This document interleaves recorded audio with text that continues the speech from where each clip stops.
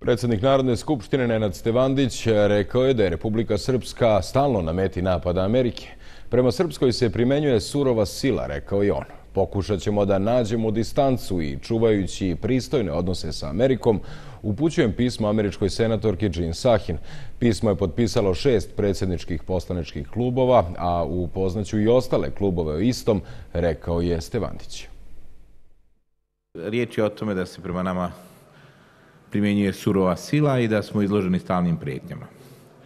Ono što mi možemo pismeno i pravno da radimo kao i sad, da upoznamo ovaj, svjetsku javnost, a pogotovo američku javnost, pokušavajući da nađemo neku ekvidistancu čuvajući pristojne odnose srpskog i američkog naroda.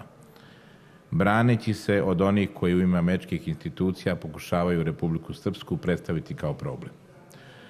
S tim u vezi, radi nastupa ugledne američke senatorke Jean Shahin, koja je neki dan iznijela, da kažemo, takođe kvalifikacije koje nisu tačne.